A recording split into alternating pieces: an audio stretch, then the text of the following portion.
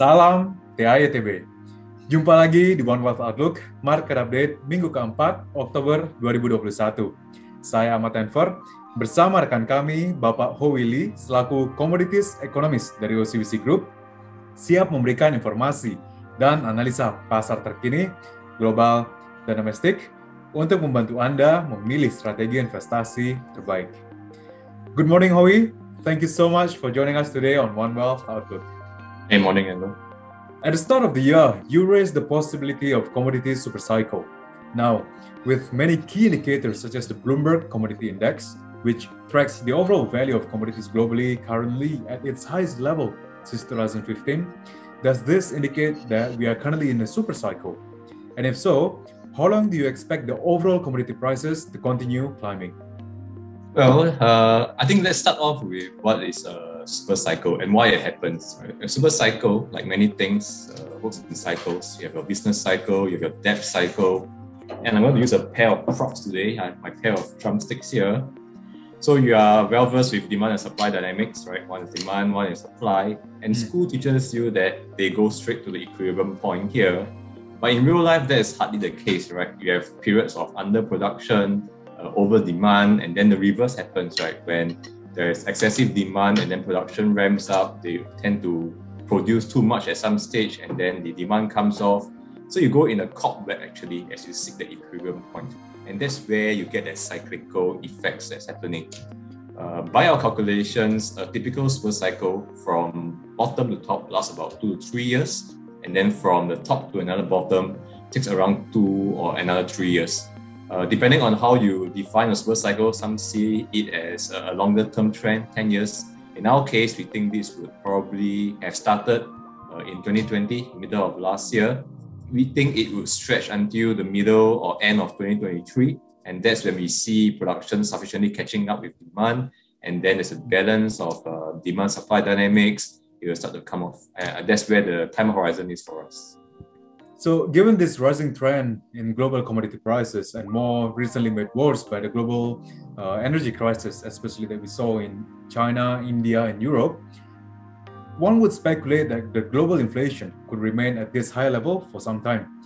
And now, where do you see energy prices going forward? For example, will we see Brent reach $100 uh, per barrel Oh, I, I know many people are calling for hundred dollar oil. Uh, personally, God for, for God forbid that happens, right? Otherwise, you pay a lot at the petrol pump and for your utility bills.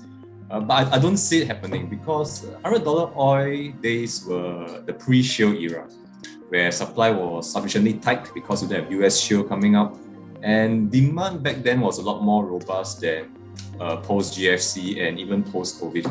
So you, you need a combination of factors. You need that high demand, you need that low supply to see oil go back to the 100 $120 barrel days. Uh, right now, we don't see talks as especially tight. They, they are tight, don't get me wrong, but they're not as tight as uh, pre-shale days. And factor in that we are looking at consumption actually declining uh, or even haven't yet uh, returned to pre-COVID levels uh, on the stock to use basis, it does seem that we are actually comfortable. And where we are right now with oil at 80 $85, I, I think that's fair. I don't think that's a stretch. Uh, but the call for 100, I, I think uh, that might be overstretching it a little bit. Understood. Now let's move to gold.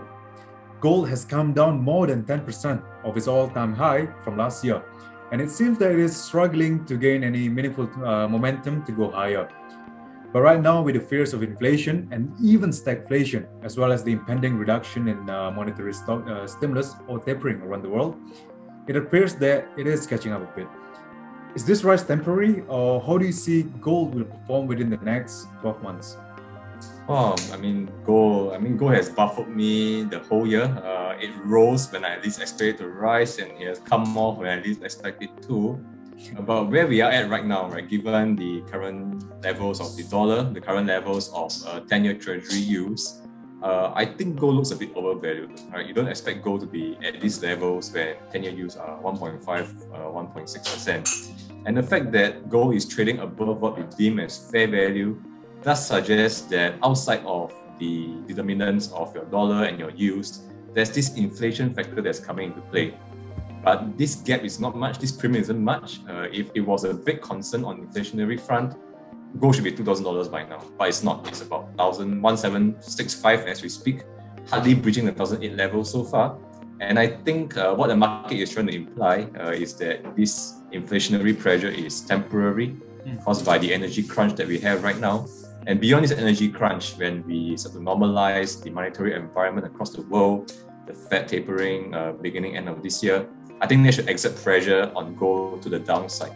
And we still stand by our bearish view. We think gold will return to 1005 by the end of 2022. Now let's shift our focus to Indonesia. As a net exporter, Indonesia certainly has been benefited with the soaring commodity prices. Uh, and in fact, just last Friday, Indonesia recorded a 4.37 billion dollars of trade surplus for uh, in September, thanks to obviously strong, perform- strong performance in mining and uh, oil-related exports, both in terms of the volumes and prices. So specifically on coal and crude palm oil, what's the outlook? And perhaps as a closing remarks, how do you see Indonesia's overall commodity sector is positioned into 2022? Yeah, and I think you left out uh, the most important commodity right now, which is coal. Uh, I think Indonesia oh. is shipping a lot of it to, to China right now because of the energy crunch that's happening over there. Hmm.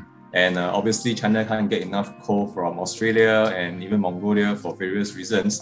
So Indonesia has actually benefited from uh, the gas, sorry, the energy crunch in in China.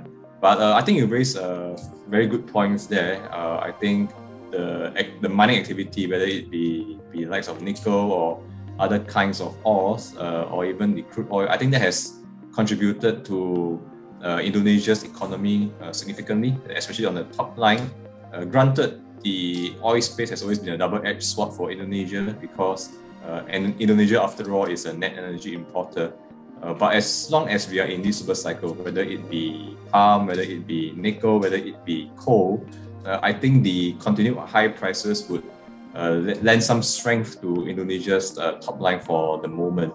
But beyond this super cycle, of course, uh, as you would know, the, the, the, the biggest factor and the, the biggest development that Indonesia could do to capitalize on this run is to invest uh, the revenue coming in on its refinery sector, right? Whether it be oil, whether it be uh, nickel refining, uh, those are the the money bringers. Those are the ones that are going to add real value to the economy rather than just mining and shipping them out. I think that would be the next step in bringing the commodity space in Indonesia to the next level.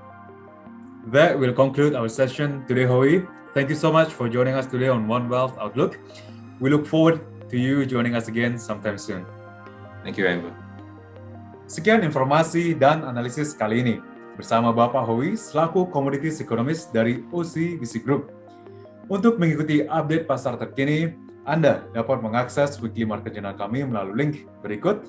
Dan jangan lupa untuk memfollow kami dengan mengklik tombol subscribe. Saya Ahmad Enver, nantikan One Wealth Outlook berikutnya di minggu depan. Salam TAI TV.